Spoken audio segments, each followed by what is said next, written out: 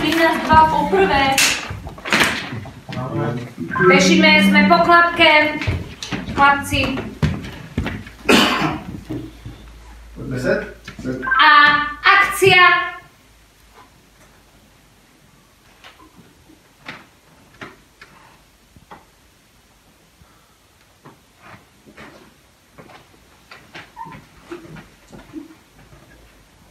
Pekný je.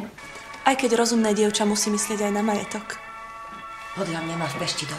Detektívy majú peniaze. Bolo by dobre to overiť. A stačí, keď má dobré srdce, nie?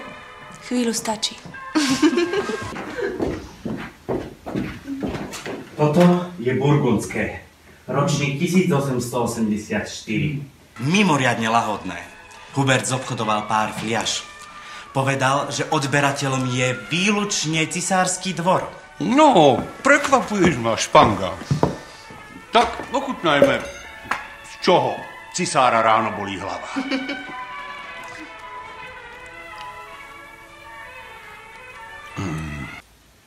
No neviem, či to víno mi tak chutí, či predstava, že si cesar myslí, že to víno nikto iný neochutná. Slečny, poďte. Ochutnáte niečo extra. No? No? Sladké. Poďte, poďte ďalej, Marko. Dámy, grof, Dáte si s nami? keď nemusím, nebudem. V tom prípade musíte. Je naozaj sladké, pán Barton? Tak potom na naše zdravie, Julia.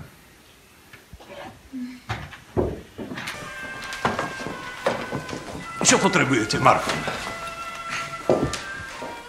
Niečo by som vám rád ukázal, grof.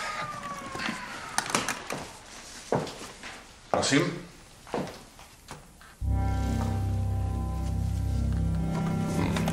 A čo to je pre Boha?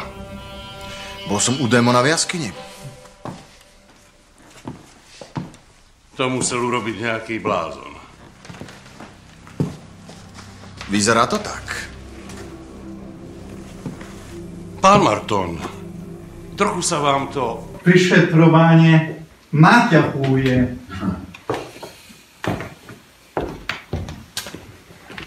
Práve naopak, grof. Posunul som sa o mnoho ďalej. Asi už viem, čo robila slečna Erža v osudnú noc v časti kaštieľa, kde nemala čo robiť. No hovorte. Je to trochu nezdvorilé. Dáme?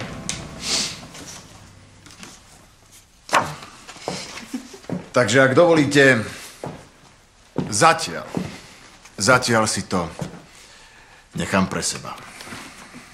Ste neuveriteľne trúfali. Povedz, Španga, necháme pána Martona vyšetrovať ďalej, alebo ho pošleme domov. Nechajme ho vyšetrovať. Pán Marton nerobí nič zlé. Tak chodte chytať toho blázna. Dáme.